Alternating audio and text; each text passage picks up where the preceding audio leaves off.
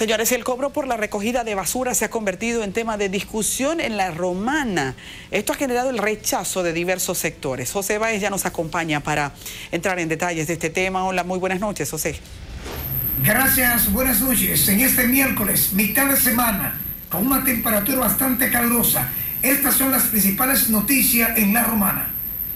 Para el regidor Mariano Jazmín del Partido Reformista Social Cristiano en el municipio de Villahermosa, cataloga absurda la decisión tomada por el actual alcalde Freddy Johnson, que también es del Partido Reformista, el aumento del servicio de la recogida de basura. Dijo Jazmín que estas familias no tienen dinero para pagar 100 pesos y 150 pesos por la recogida de basura. Asimismo dijo que el actual alcalde Freddy Johnson no le toma la llamada. Son muchas las veces que ha intentado reunirse con el alcalde, pero que este hace caso omiso. Y yo estoy en contra de eso, porque el alcalde está motivando a, la sala capital, a la sala de los regidores para que sea aprobado por 100 pesos, porque eso todavía no está aprobado.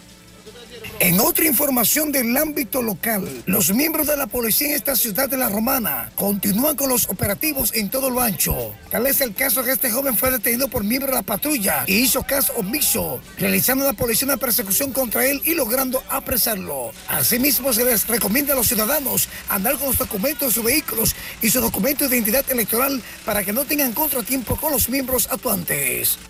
En una última información del ámbito local, continúan los maltratos por parte de este en el municipio de Villahermosa y el municipio cabecera La Romana, debido a las largas horas de apagones que están registrándose en algunos sectores y que por lo tanto las quemas y, las, y de piedras es el escenario en horas de la noche en los diferentes sectores, que obligan entonces a las autoridades a tener que actuar enérgicamente. La policía mantiene la vigilancia en estos sectores, no obstante los desapresivos continúan colocando piedras y botellas en medio de la vía.